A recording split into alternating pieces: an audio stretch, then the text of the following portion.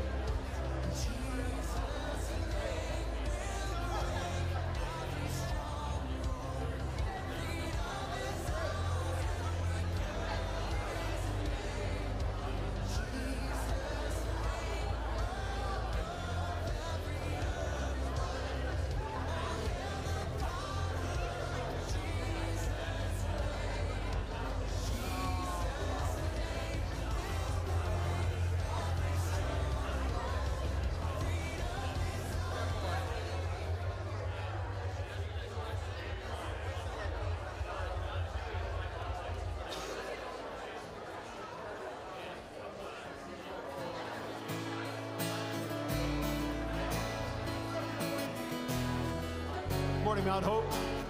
Will you stand with me?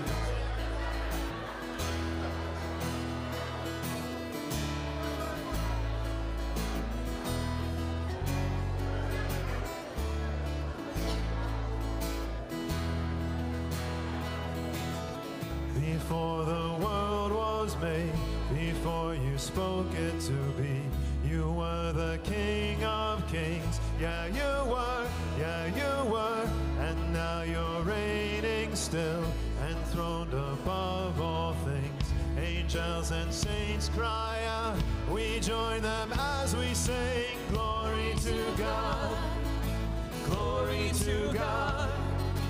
Glory to God forever. Glory to God.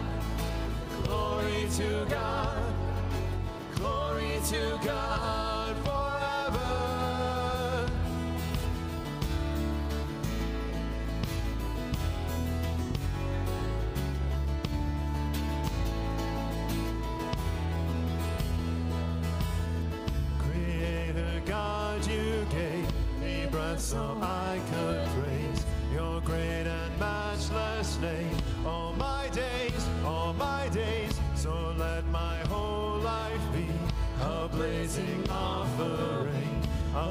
that shouts and sings the greatness of our King. Glory to God, glory to God.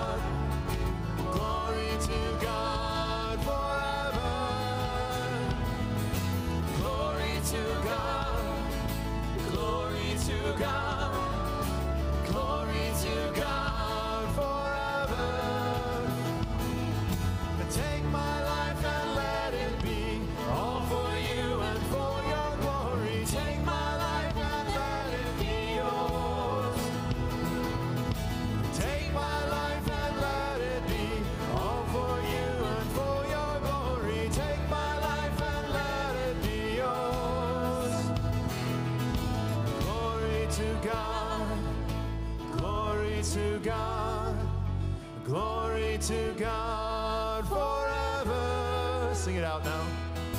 Glory to God, glory to God.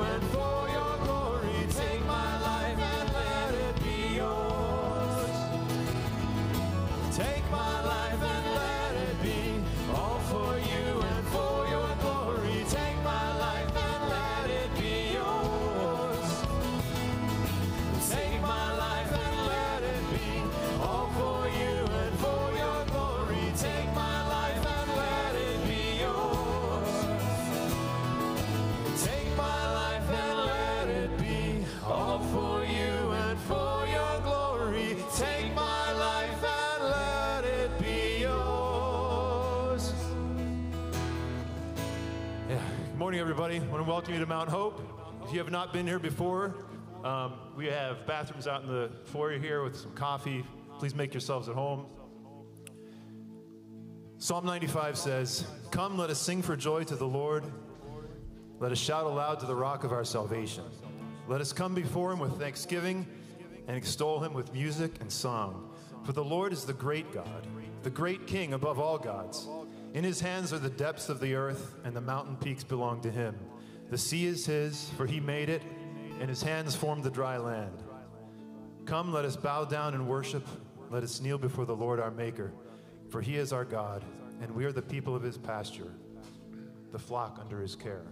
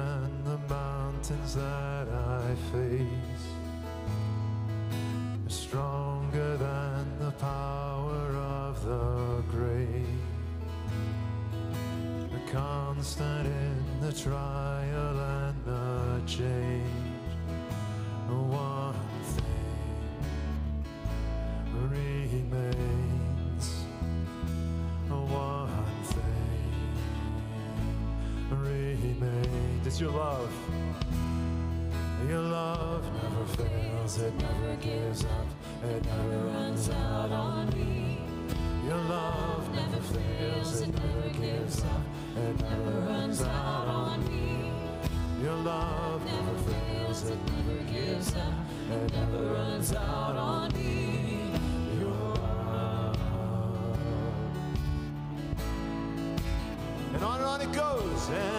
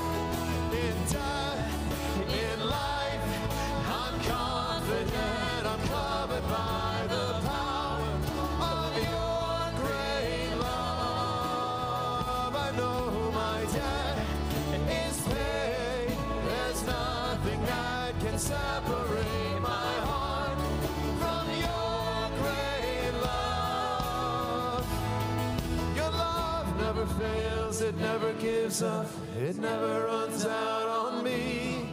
Your love never fails, it never gives up, it never runs out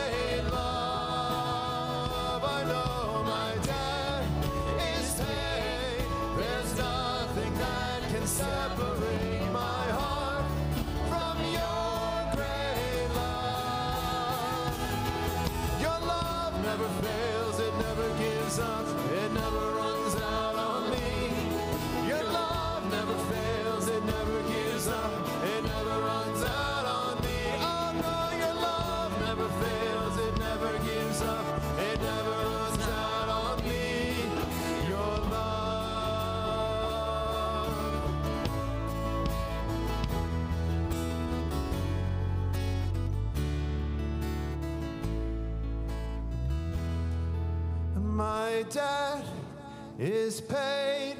There's nothing that can separate my heart from your great love.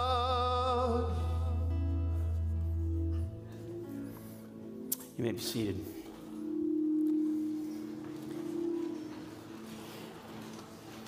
You know, we sing about God's love never failing, that we can never be separated from His love. And part of how we know that is the revelation of Scripture. That God has chosen men to write over a 2,500 year period of their experiences with God. And yes, to us, it's an ancient book, it goes back thousands of years, but these men, these women encountered the presence of God in a way that was absolutely powerful. Part of God's revelation to humankind about the sacredness of our relationship and that it will never change, it will never fail part of God's revelation comes in how he chose a people. A family, it started. Abraham and his wife Sarah, and then they had children, and Isaac, and they had children, and Jacob, and they had children, and it on and on it developed into this people that we know as the people of Israel, the Jewish people. And the scriptures record that God has uniquely chosen them. And the scriptures in Romans 11, this book that we've been studying, says that all Israel will be saved. For it is written in the Word of God, the deliverer will come from Zion. He will turn godlessness away from Jacob. And God says, This is my covenant. I will take away their sins. Now we're in a season where in the Christian church, the body of Christ, Jesus as Messiah, for this season, the Jewish people, many of them, most of them perhaps, have rejected Christ. And so for now, Paul reveals that they may stand a bit at enmity with us. But God says this as far as my election is concerned, my choice of them is concerned, they are loved. They are loved. For God's gifts and his call are irrevocable. So God takes a people group, and if you've read, ever read the Old Testament, there's a lot of yelling God does at them because they get way out of whack. But he still loves them, and he still pursues them. And that was a word picture God created for you and me. Individually, you and I could know the love of God by watching people that God considers sacred, even though they are incredibly far from Him. Does this make sense?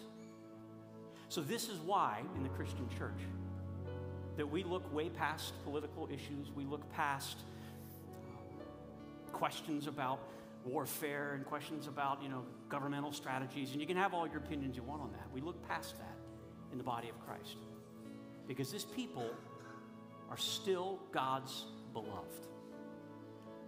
So, Imagine if you've paid attention to the news the last 15 hours, you've seen pretty significant, unprecedented assault on, on Israel from Iran.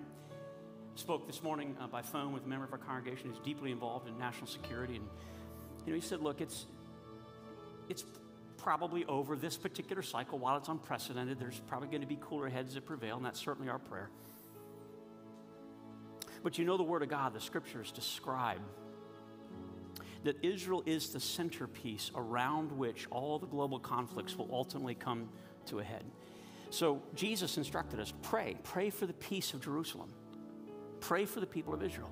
Now, of course, this is not at the exclusion of also praying for other people Palestinians and Iranians and Iraqis and Saudis and all people of the world. I mean, God wants us to pray for everyone, right? But there's a unique prayer for God's people and their protection. So, could we this morning, could we exercise our faith in that? Would you, would you guys do that with me? So, right here, God, in the name of Jesus Christ, we are gathering as your word tells us to, two or three gathered in your midst that you promise that when we gather together in your name, in your identity, you promise to be here with us and to hear every word we pray. So, Father, in the name of Jesus, we're lifting up your promise of Scripture that this people group, gifted, called by you, that that calling is irrevocable and your love over them is secure. So, Father, in Jesus' name, would you bring peace across this entire Middle Eastern region? The conflict, the anger, the hatred that exists from multiple sides and goes back centuries of, uh, of anger and, and discord. Father, in the name of Jesus, would you bring peace? Just as you instructed us to pray for the peace of Jerusalem, God, we pray for that. That peace would settle over this land. That peace would settle over not just the Israeli people, but over the Palestinians, over the Arabs, over the, the Muslims, over the Jews, over the atheists, the agnostics, wherever they be, Father, we pray that you will bring a spirit of peace. You, you, instruct us in the New Testament to pray for our kings and our leaders. So, as the president, our president is engaged with, uh, President Biden engaged with President Netanyahu, Father, we pray in the name of Jesus that you would give them wisdom. We ask for a very special anointing upon these men, these women in cabinets and security groups and so forth. God, we pray for the negotiations with other countries, Father. In the name of Jesus, would you give these men, these women, these leaders, would you give them an amazing amount of wisdom? Supernaturally shock them with calm and collected thought. God, that civilians would not be in harm's way, that humanitarian aid could be available to everyone, that wicked people would not stand in the way of their, of their citizens having what they need.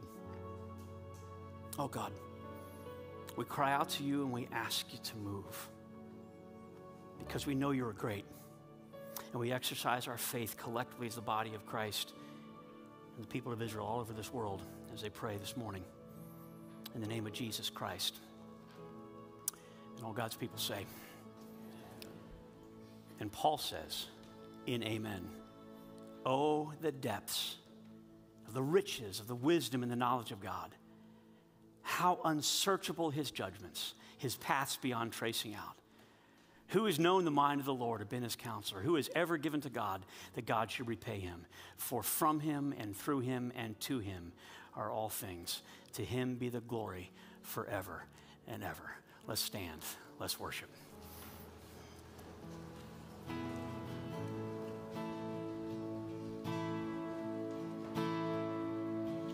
Splendor of a king,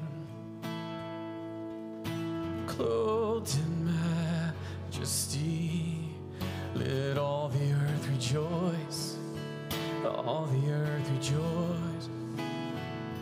He wraps himself in light, and darkness tries to hide and trembles at his voice, trembles at his voice. How great is our God? Sing with me,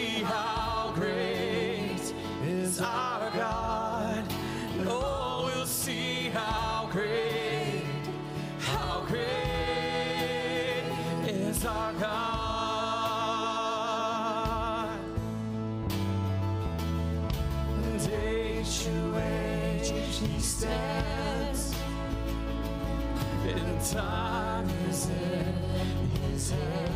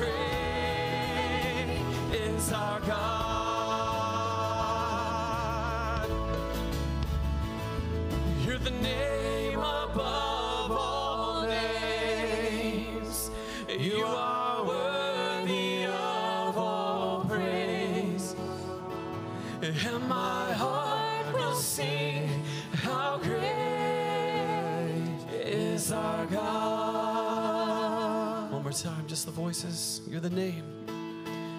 You're the name above all names. You are worthy of all praise. And my heart will sing how great is our God. God, you are the name above all names. Every tribe, every tongue, every nation will sing how great the name of the Lord is over every circumstance, over every trial, over every challenge. God, your identity does not change. And God, we praise you for that. We praise you for your grace that is unmerited and is just poured out on us. As your sons and daughters, God, we sing for joy to you this morning. You are so amazing. You are so great.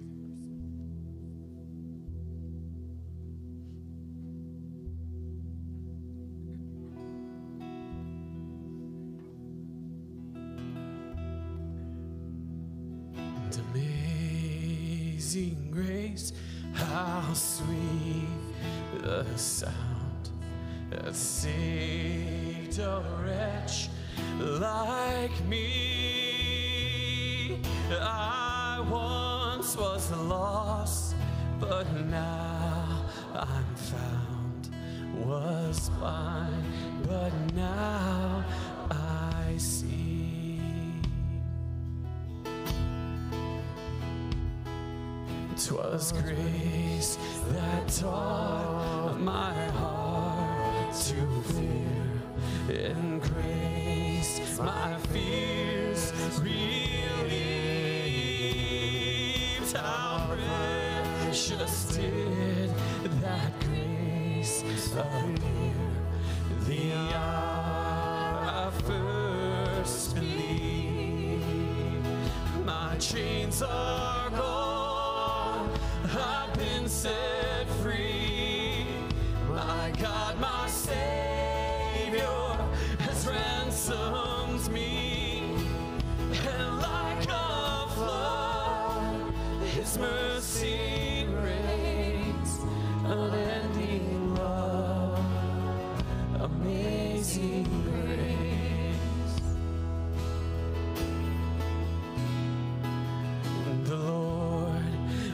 has promised good to me.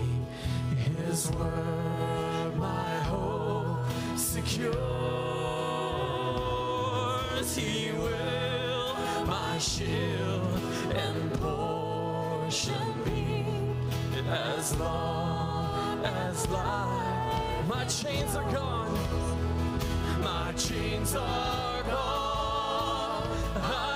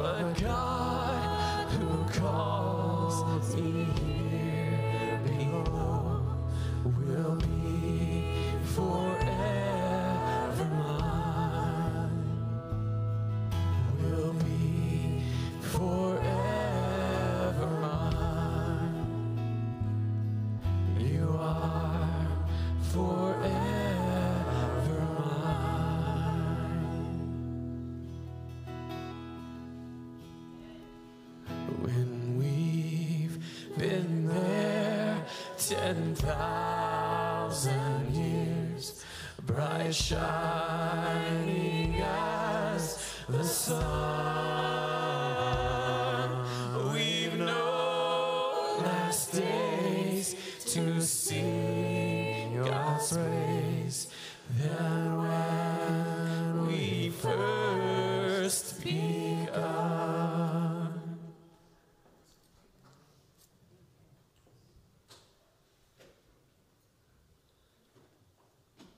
worship you this morning. God, that is the hope that we have to look forward to, to be with you in one day, just singing a new song, singing your praise. God, I pray it every week, and I really mean it. God, let us see where you're moving. Let us hear what it is you would have us to hear through your word today. God, may your spirit go before us, lead us, and guide us, and we thank you for it. In Jesus' name, amen. Kids, you are free at this time to go with who? Mr. Chris, Mr. and middle Chris. school's also going out with Miss. Kelly today. So, go. middle school, you guys are going downstairs. Kids Connect going upstairs. So, you guys have a great time.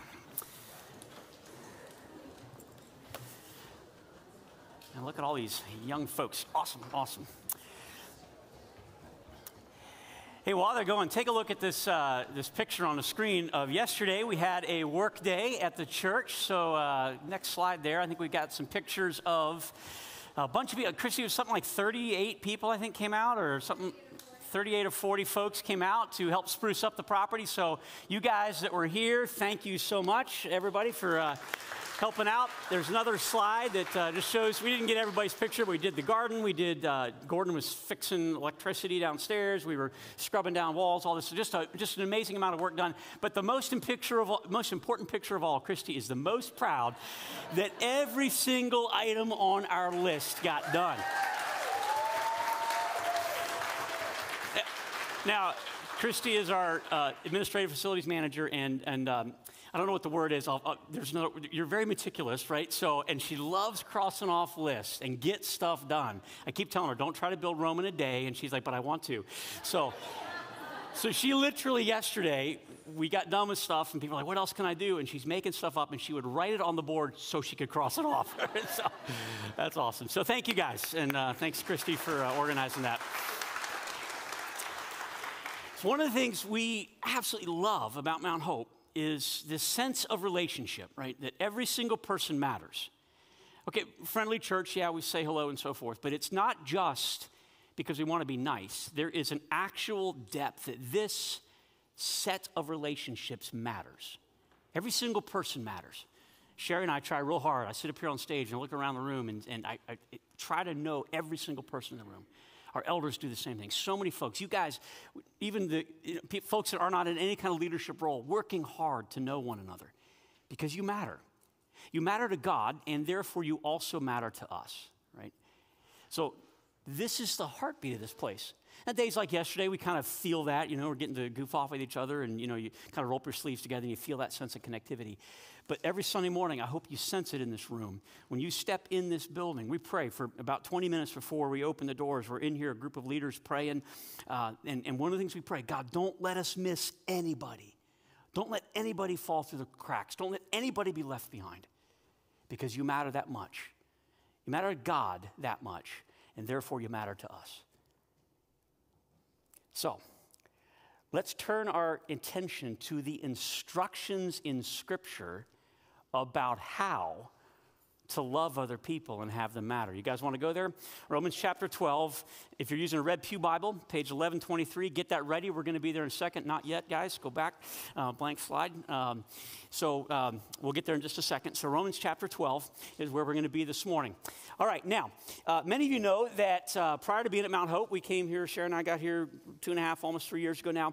Before getting here, I spent almost a decade working in the aviation industry and had a tremendous career working with recreational pilots, private pilots, leading their outreach programs all over the United States. So it was a lot of fun. We got to hang out with pilots, go fly around, do cool stuff, be around airports and, and, and aviators and so forth. And we had a little bit of a joke in the industry that um, when you meet somebody, just, you know, out randomly, meet them in a restaurant or at work or whatever, how can you tell that someone is a pilot when you meet them? Do you know how you can tell? Oh, don't worry, they'll tell you. All right, there's a picture, I think, of me, right? So forgive me bragging on this, right? It's a, it's a wonderful way of life, right? You get to leave the surface of the earth and come back, uh, you know, alive. it's the plan, right? And uh, so, you know, really cool, heady stuff when the girls were seniors in high school. You had already selected your college you're going to, and they had been recruited to play on the softball team. And wasn't it cool, Amanda, that we got to fly to a ball game and your coach was impressed? Your parents flew you in a private air, right? It's, it's just really, it's really heady, right? It's really fun. Let me tell you about the day I almost died in an airplane.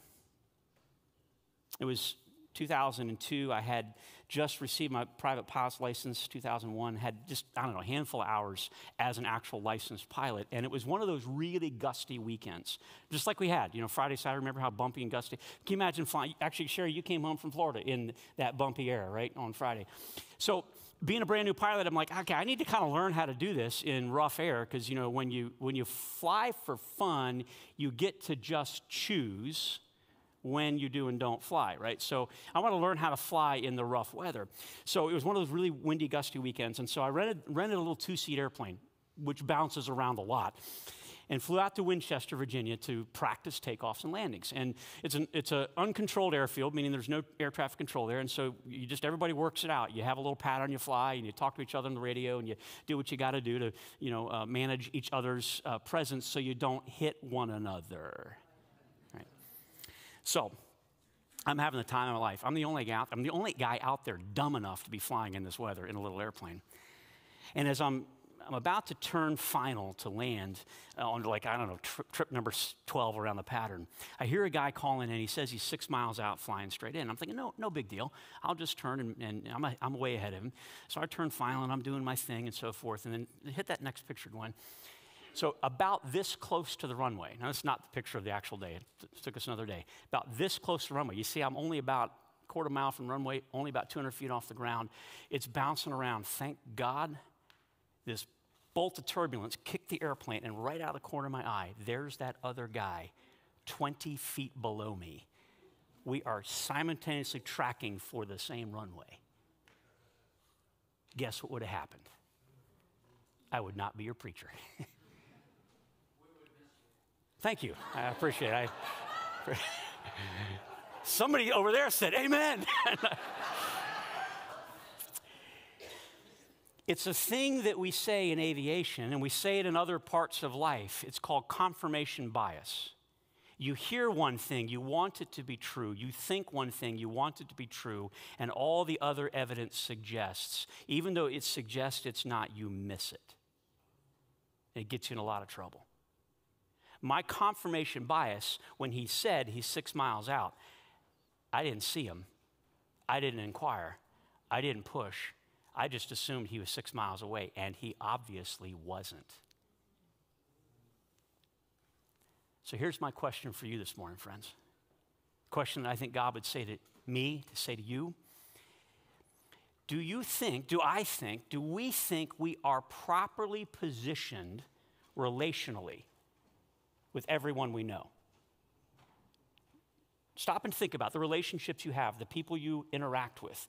Do you think you are properly positioned with them? And I think this morning we're going to see in Scripture, God may say to us, you might need to change your mind. The confirmation bias that we all have, we're all trying to be good people, right? Anybody here intentionally trying to be a jerk? Can I see your hand? I know you're teasing Sarah Jane. You're not, people, John, all right, you're trying to be jerk. All right, so most of us, only two in the room, owning it, right? All the, no, most of us, we want to be good people, right? Nobody wants to be hated. So you try to be nice. We try to be properly positioned. But have you noticed human beings? We're not doing so good as a, as a, as a collective, right?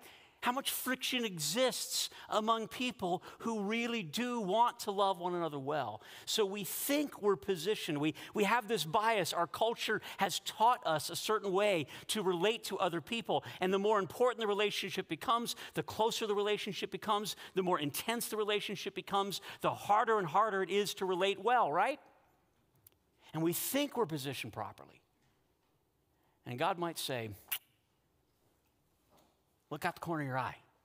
Right there.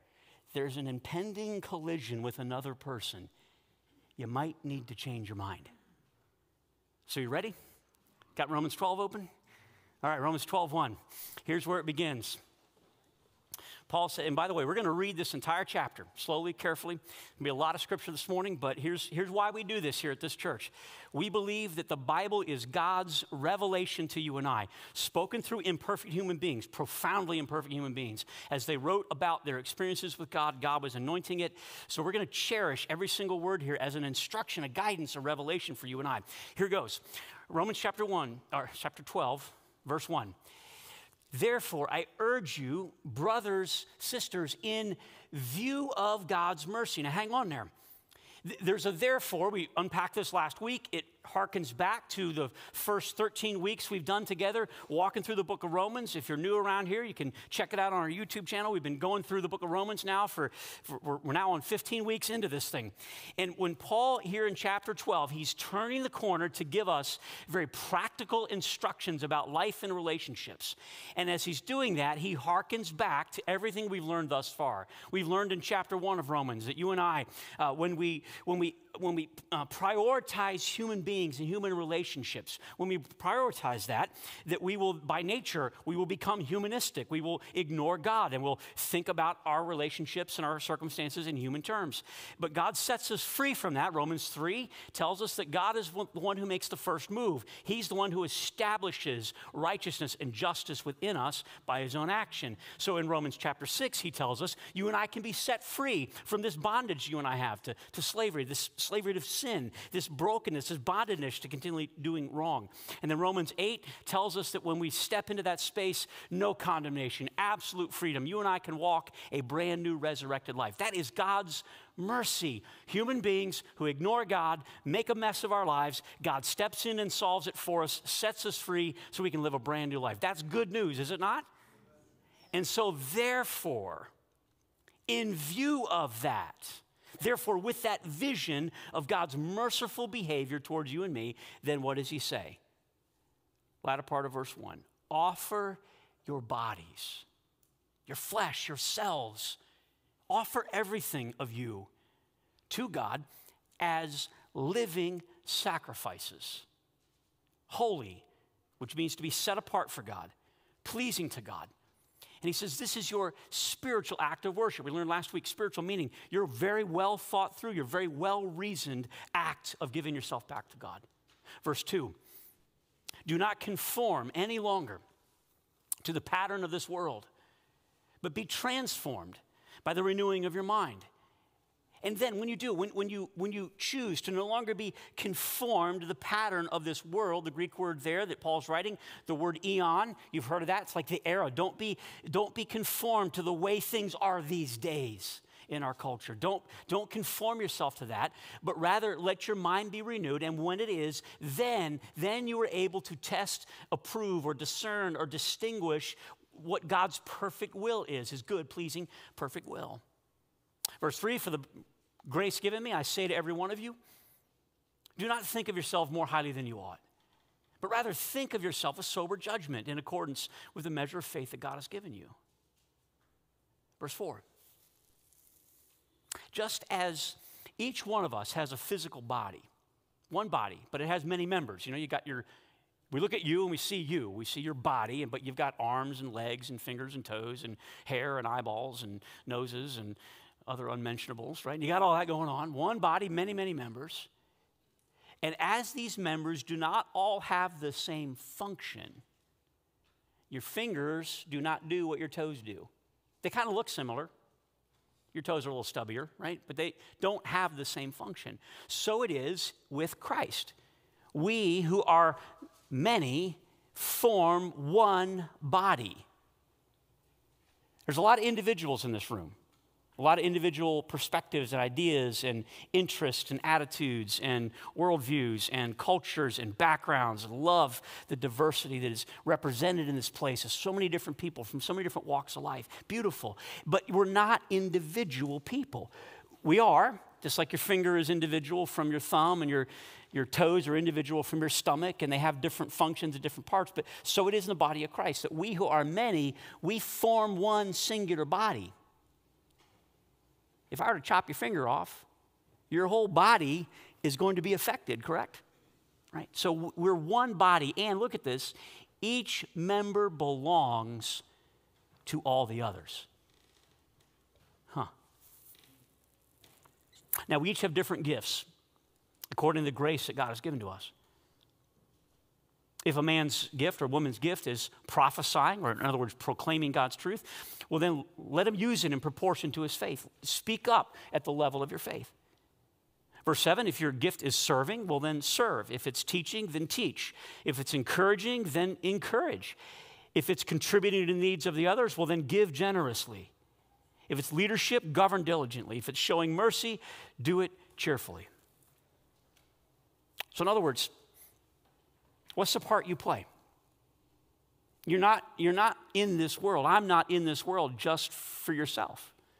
This isn't about just making life the way you want it to be and navigating through life and doing your own thing. It's, there's actually a place we have been given in a broader body of relationships. So, what's your part? Now, let's slow down carefully. We're going to read these next few verses really slow and contemplate them oh so carefully, friends. Verse 9 Love must be sincere. Why would he say that? Isn't love naturally sincere, or is there a tendency we have to love with an agenda? Love with something we get in return. Hate what is evil, but cling to what is good.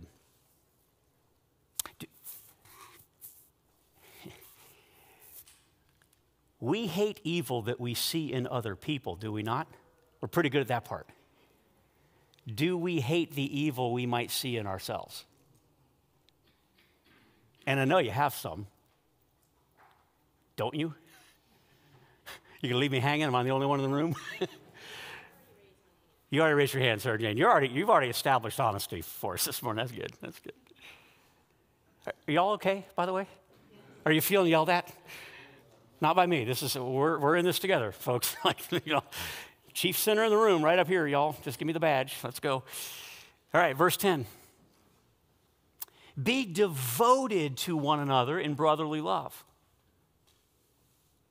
Honor one another above yourselves. Never be lacking in zeal, but keep your spiritual fervor serving the Lord. Be joyful in hope, patient in affliction, huh? I'm not so good at that one, are you? Faithful in prayer. Share with God's people who are in need.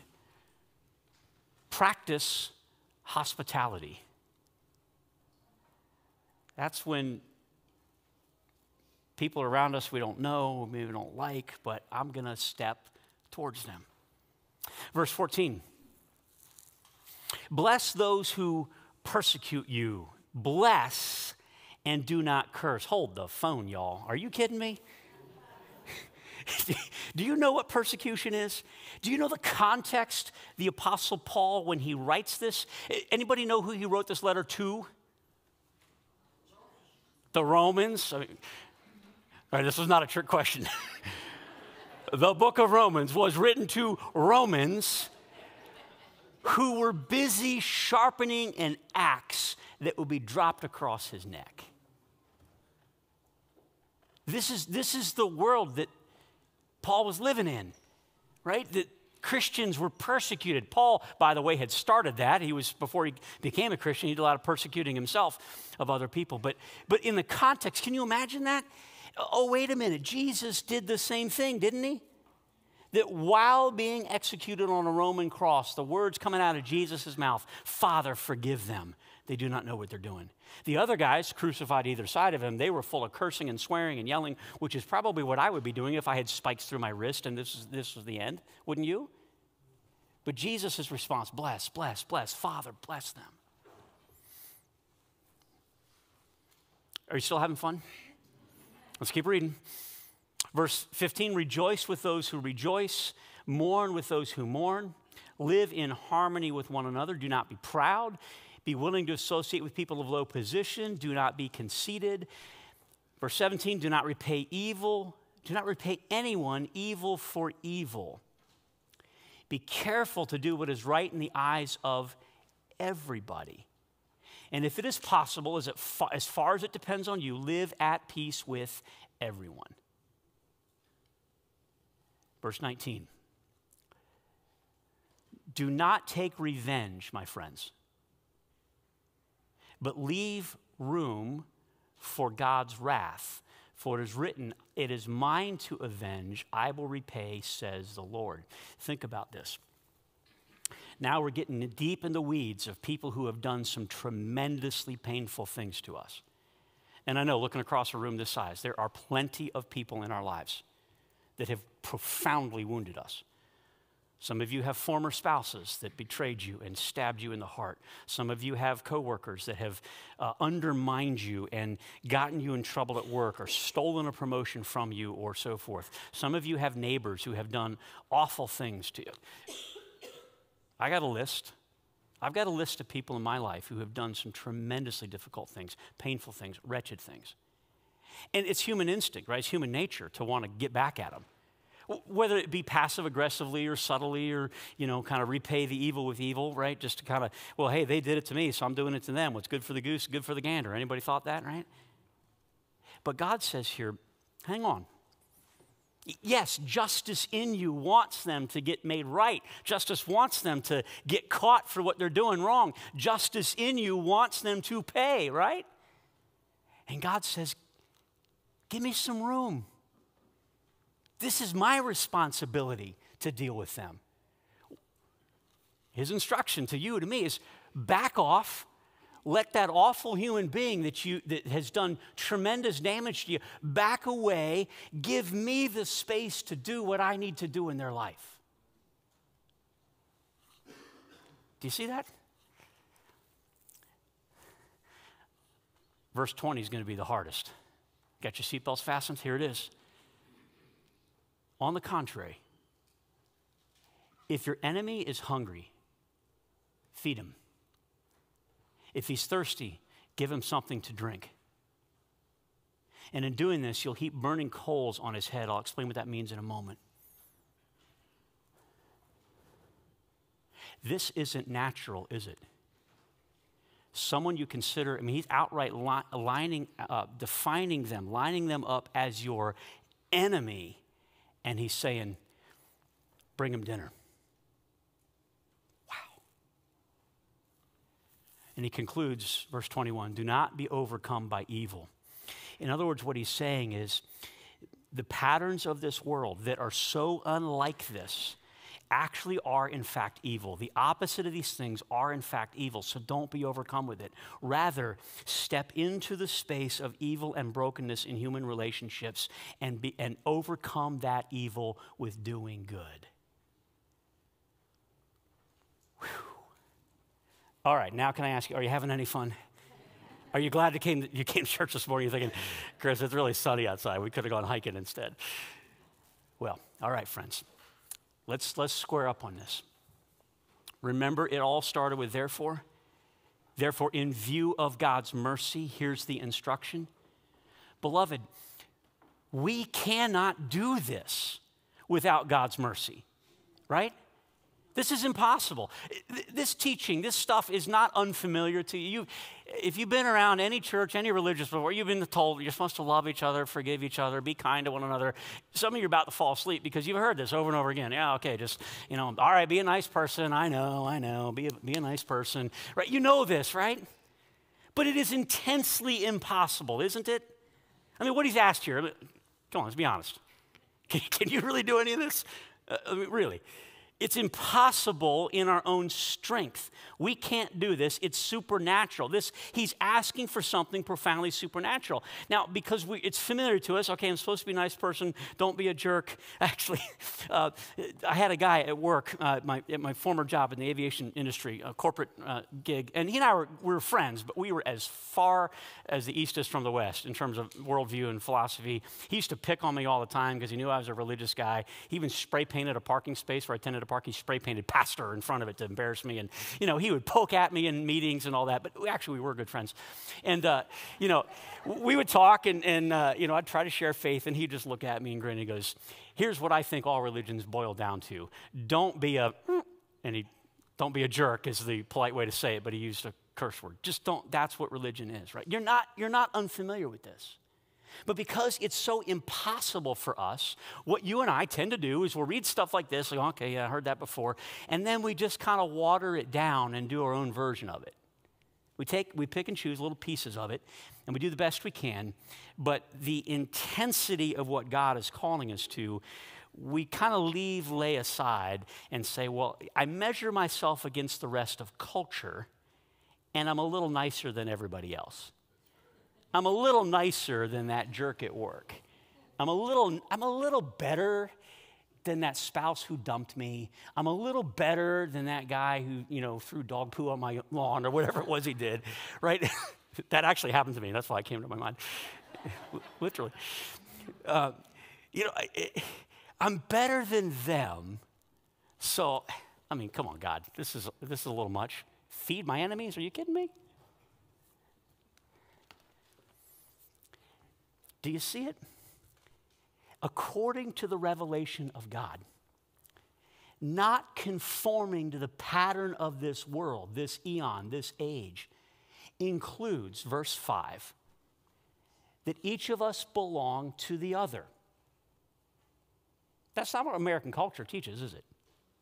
American culture teaches you're yourself, be your own person, be your own man, be your own woman, right? Uh, property, private property, all that kind of stuff. But, the, but God's revelation says we belong to each other. Like, actually, I belong to you. Not conforming to the pattern of this world includes verse 10 that we are to honor others above ourselves. Like, you're more important than me. You matter more than I matter. What is it you need? What is it I need? Folks, try this out in marriage. You know, most marriage conflicts are a gap in I need something my spouse is not providing for me. And it may be very legitimate. It may honestly be there's something you really need. There's an emotional connection you really need that they're not capable of. There's a relational, they need to probably treat you kinder or whatever it is. It may be very real. There's something that you are not having your need met. And the Word of God, the revelation of God says, well, honor her first, way above yourself. Honor him first, way above yourself. Try that. That's the revelation of God to us. It also includes, verse 14, that we are to bless those who do us harm. Whew. This is not easy. Somebody's hurt me. I'm supposed to bless them? what, in the, what in the world does that mean? The world doesn't do this, but the scriptures, God's revelation calls us to. Verse 16, that we are to associate with people who are unlike us. Can I grab a third rail and electrocute myself real quick? This includes the person who votes opposite of you in politics. Our culture, I've noticed it on Facebook. Some of, I've seen some of you put this on Facebook. I just can't be friends. And how many? I'm not gonna no no show of hands, but I've seen people like make this announcement on Facebook. I'm purging my Facebook friends, right? Okay, well, I'm still here apparently. How about people that you just absolutely cannot understand their worldview? How in the world could you think that? Well, God's revelation is hang out with them, be their friend, inquire of them. If you honor them above yourself, you might actually learn why they think what they think that's driving you batty and you want to pull your hair. You can do what? You can say what? Well, spend some time with me, maybe you'll understand. Rod's having fun. How about the rest of you guys? Thank you, Rod. I needed that. Give me, give me an amen. All right. Verse 17. It also, the revelation of God is to repay evil only with righteousness. Only with that which is right. And he even says, verse 17, that which should be viewed right by everybody. That everybody could look at you and go, wow, you did nothing wrong in that in that exchange. I almost biffed it in an airplane when I was certain I was in the right position. I was certain I had the right of way. Cool, I might have actually had the right of way. But, but it wouldn't have mattered. Catastrophe awaited because I wasn't properly aligned. So, friends, you, me, are we sure? Are we sure that our response to that evil is correct, that it's right? Not by what other human beings would say, not by what the world standard would be, but by God's standard. Is our reaction right? And not living according to the pattern of this world, verse 20, includes providing for the needs providing for the needs of our enemy.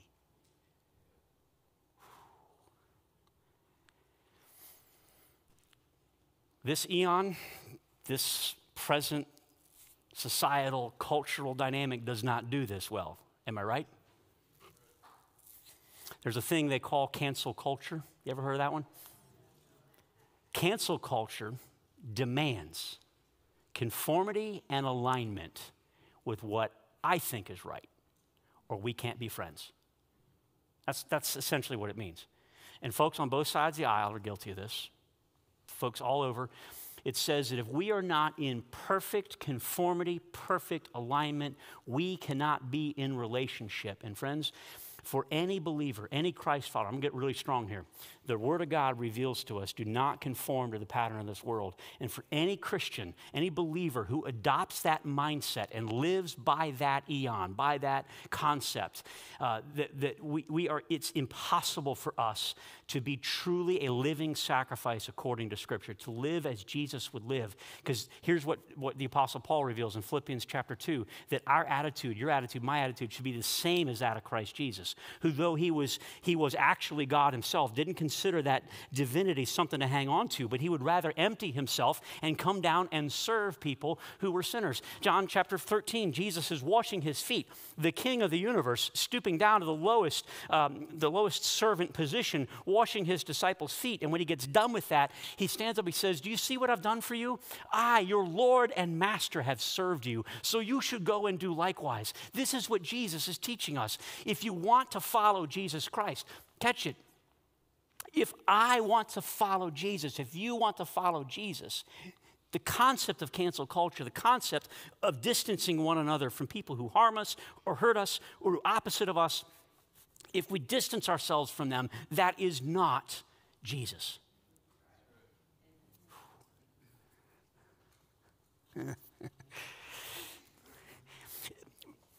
Verse 20, let's look at that again, um, where he says, If your enemy is hungry, feed him. If he's thirsty, give him something to drink. In doing this, you'll heap burning coals on his head. Now, frankly, that doesn't sound very fun, does it? Anybody want burning coals put on your head? Teenagers tonight, they're having a fire pit tonight, fire pit worship tonight, teens. Um, and so there are going to be some hot coals there. We could dump them on somebody's head, see how it goes, right? Uh, parents, you're probably not going to let us have your teens tonight, are you? All right, so here's what he's referring to. It's a quote, it's a direct quote. See it in blue there? It's a direct quote from Proverbs 25, 22. And, and likely what the writer of Proverbs is referring to is what's called an Egyptian expiation ritual. I know you've never heard the, eh, the word expiation, neither had I, I had to look it up. Here's what expiation means it means the making of amends and reparations. So here in Egyptian culture, very nearby where Proverbs was written, they had this ritual that when someone did something really bad, they stole something, they ruined somebody's life, they maybe murdered somebody, uh, and they want to come, they want to make it right. They want to make amends. There would be this ritual of repentance where they would take a big a bronze basin filled with burning coals and carry it around on their head as a symbol of their grief that I had wronged you. And it was, it was a, for them a beautiful ceremony that would then lead the family that had been wronged would embrace them and, and, and things would be made right. Now, notice when the scriptures pull this story in, this idea of burning coals on your head, notice what the Proverbs tells us, and Paul repeats it in Romans 12 that if your enemy is hungry and you feed him, you, if he's thirsty and you give him drink, it will heap burning coals on his head. In other words, when we treat our enemy with kindness, here's what happens they want to change. They are moved. Our kindness moves them to repentance, so they'll pick up their bowl of burning coals and make it right with you. Oh, I thought yelling at them and screaming at them and cursing was what was going to correct them. That they were all of a sudden going to want to, you know, correct their behavior when I freak out on them. I thought when I stabbed them back, they did something wrong to me. I do something wrong in return. That oh, oh they're going to see their ways, they'll learn their ways, and they'll, they'll. No, God's revealing to us the exact opposite. And it's the character of God. The scripture says that it is His kindness, it is His kindness that leads us to repentance. God loves on you and me, He reaches out to you and me, and that's what makes us want to turn and, and, and follow Him, right? So when you feed your enemy, when you serve the one who's done you wrong, you are leading them to a place of repentance. That is good news, is it not? Let me give you an example. I don't know if you pay attention to history or not, but tomorrow is the 159th anniversary from when Abraham Lincoln was assassinated in our country. So I was listening to a podcast this week, and it was talking about really the last couple weeks of his life. You know, the Civil War was coming to an end. Uh, Robert E. Lee uh, surrendered uh, the Confederate Army to the Union Army uh, just about a week before Lincoln was assassinated. And as you can imagine, those days were incredibly tearing. Uh, family members, uh, brothers, cousins fighting against each other. The whole nation was torn in two, right? If you paid attention to history, it's really awful stuff went on during the Civil War. Horrific things. And it was obvious the war was coming to an end. And right there in that last couple weeks, as Lee is surrendering, and, and, and, Abraham Lincoln is having a conversation with Edwin Stanton, who's the Secretary of War, the man who has prosecuted this war from the Union side, and all the atrocities they've had to wrestle through. And Lincoln and Stanton were having the conversation about okay, we're wrapping up this war, now what? And Edward Stanton, who was the Secretary of War, in our parlance today, Secretary of Defense, and he was pressing Lincoln let's round up every one of those Confederate rebels, those people who are traitors, those treasonous people, and do what every other nation has ever done with rebellion and treason, and let's hang them. I mean, that's what you do to treasonous people. It's in our law, treason is a capital crime, right? And Lincoln's response, according to his podcast, I tried to find the source, couldn't find it, so I'm trust the podcast here. Lincoln's response if we execute them, this war will never end. And he didn't mean that the Union wasn't going to win. They had already won. Confederacy had collapsed. But he said, if we kill these people, if we hang them, in the hearts of our people, this anger, this hatred goes on for centuries. Friends, did you know that in the United States of America, at the end of the American Civil War, is the only time in human history that I'm aware of where an entire segment of society rebelled, committed treason, killed, I think it was something like 2 million people got killed or wounded in that war at the hands of rebels. And it's the only time in human history when the government they rebelled against forgave them. Full stop. Abraham Lincoln was a Christ follower. And he spent the majority of his presidency on his knees in the Oval Office, begging God for wisdom. And the scriptures reveal if your enemy is hungry, feed him. And he did. And this nation, for the most part, healed.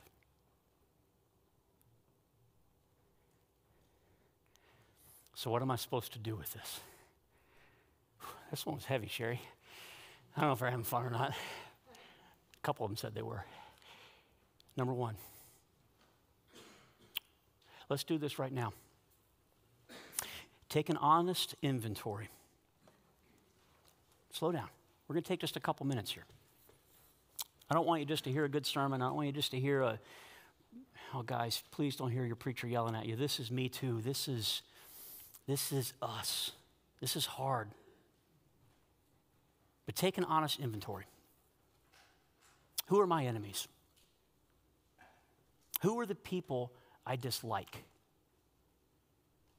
Who in my life has done me harm? Who are they? Can, can you visualize them?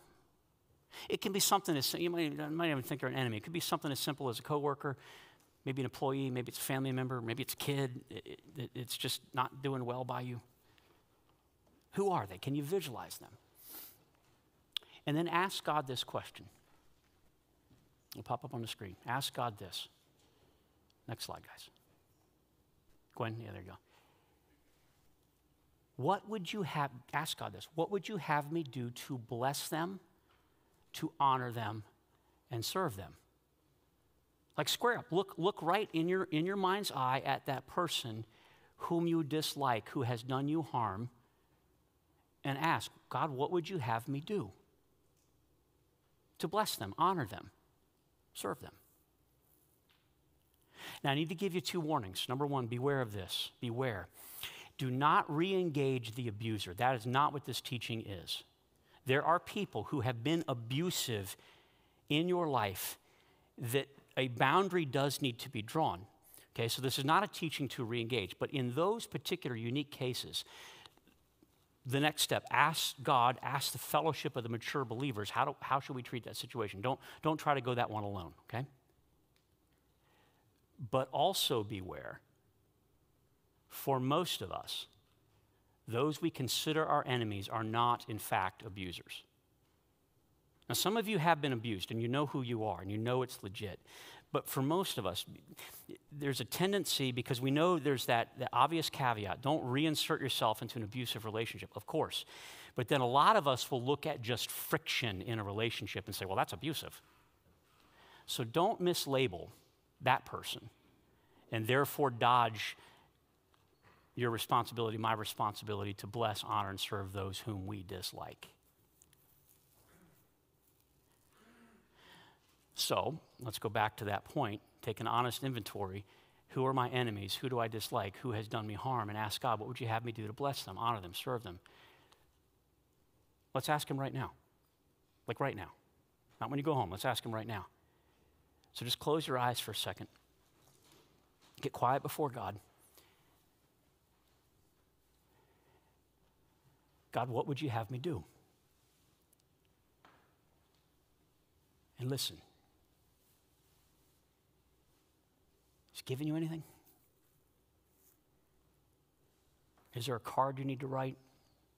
An email you need to send? A text you need to send? Somebody you need to go by their cubicle at work and just stop in and say, I'm sorry. Is there a family member you've been estranged from for years you need to reach back out to? Is there a, a spouse or child in your home, or maybe a parent, an uncle, somebody that you've, you're close to, but you've been at odds with, that you need to say, God, help me bless this person. What is it you need to do for him? Is there somebody you need to invite over to dinner? Feed them. They'll be hungry at 6 o'clock tonight. God, what do you want us to do? So look back at the screen, number two, next thing I can do with this, among those who are not my enemies, okay, there's other people in the world who aren't your enemies. Among those who are not my enemies, but they're just the average stranger or the acquaintance, the person I really don't have any interest in.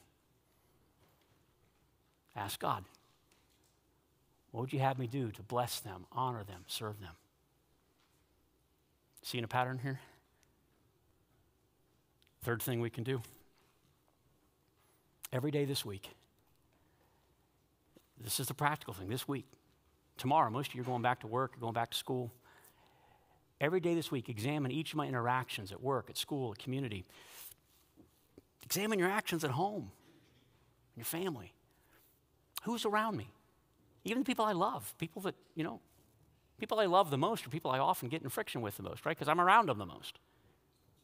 And ask God, what would you have me do to bless them, honor them, serve them? You do see the pattern here, right?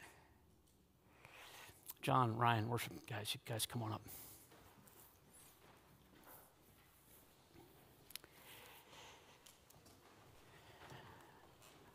Friends, I love how quiet it is in this room and try to hold on to that space. I know we're getting distracted with folks moving around here. Hold that space. The reason it's quiet in here is because what we have just unpacked without any hesitation, we haven't tried to couch it. We haven't tried to, you know, massage it or dumb it down. We've just looked at God's revelation square in the face, eyeball to eyeball with God's word, and said, All right, here's what it says. And the reason it's quiet, I would, sen- I would guess, is because you know God's Spirit, I believe, is speaking to you and to me. I know it, I feel it in my heart that this is truth, but it is impossible to do without God.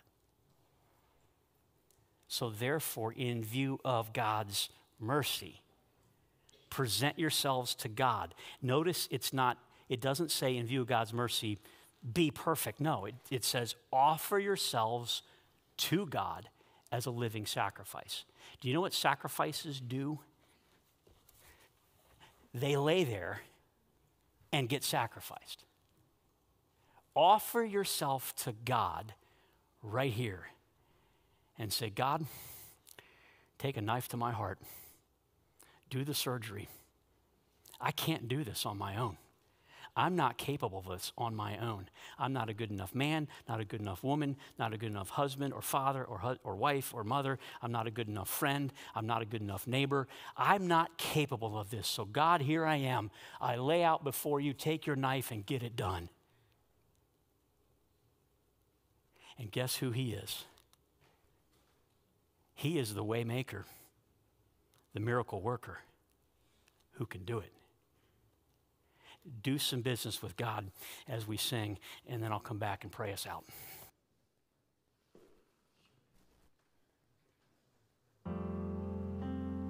Will you stand with us?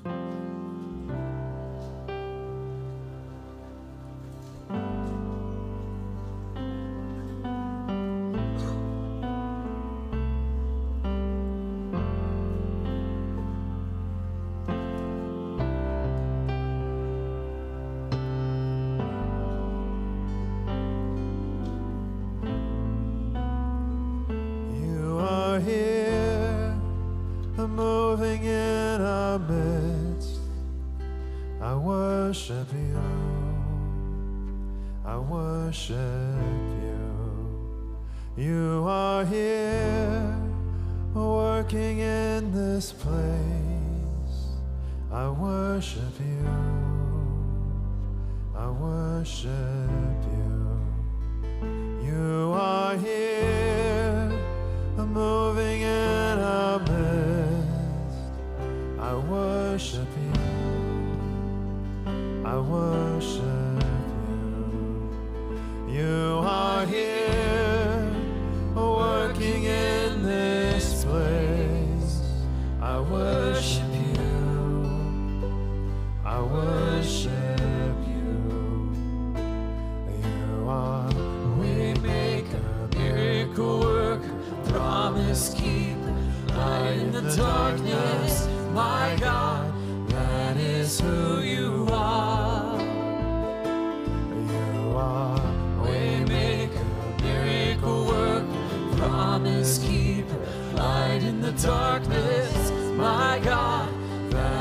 Who you are. You are here, touching every heart. I worship you. I worship you. You are here, healing every heart. I worship you. I worship are here, turning lives around.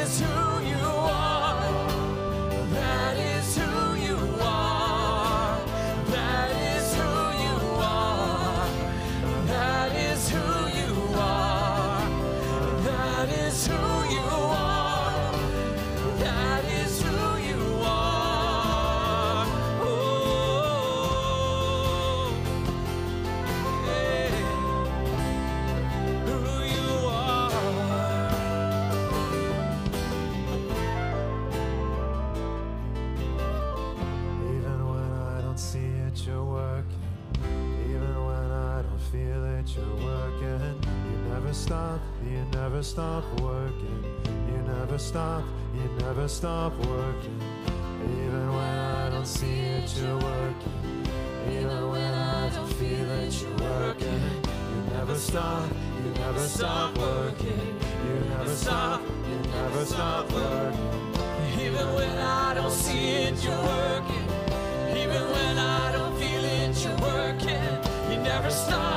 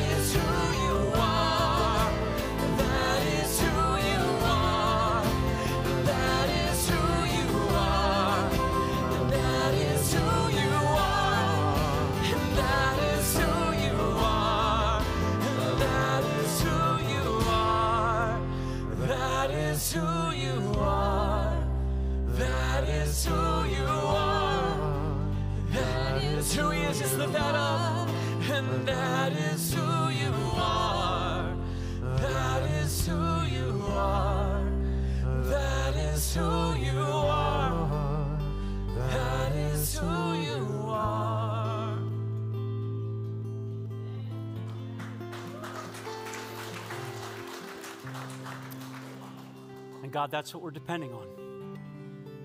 We're depending on you to be you, to be the miracle worker who can step into our space, step into our hearts that are filled with all kinds of relational confusion. God, step in and do the surgery. We surrender ourselves to you, God. We lay there before you and ask you, God, to do the surgical work to make us into your image, to make us as Jesus in every relationship we have. We give it to you, God. We give it to you in Jesus' name. Amen. Well, thank you all for strapping in your seatbelts and going for a ride, a bumpy ride this morning, was it not? But in that, that little turbulence kicks us to the side and we can see clearly. So I encourage you guys, invite you guys into that. Real quick, two things to tell you before we're done. So if you're new, thanks for coming and hanging with us. Um, would lo- I'd love to get an email from you. So a little card in your pew in front of you. You can just fill it out, hand it to me, leave it in your pew, whatever. Would love to. I won't stalk you, but I'd love to say hey and get to know you a little bit. Uh, that's great. So then uh, mark your calendars, and uh, if you've got our Friday emails, click the link, sign up RSVP for it, please. Uh, Saturday, uh, April 27th, so two two Saturdays from now. We're going to spend uh, 8:30 to 4 right here working through freedom in Christ, working through the steps, seven steps to actually specifically break through into Jesus. It's going to be like seven so what slides that we're going to work our way through and actually practice them together and get some real victory in Christ. Pastor Chris Campbell, who was here a number of months ago, will be, uh, will be leading us through that. Food's included. Uh, it's all free, so come out and join us for that. Uh, but we'd love to get an RCP so we know how much food to make and, and so forth. So, all right. Speaking of food, we got snacks in the foyer, so spend some time loving on each other. Uh, eat a bit. In uh, what are you trying to say to me, Christy? In the volunteer meeting for kids and youth, if you're interested in helping with kids and youth, uh, we're actually not just giving you snacks, giving you like a full meal today. So, uh, Christy, Chris, Moen downstairs here in about uh, 15, 20 minutes if you're interested in helping out with uh, kids and youth. All right, so love each other. Glad you guys are here, and uh, go this week in the power of God who can do this work. You're sent.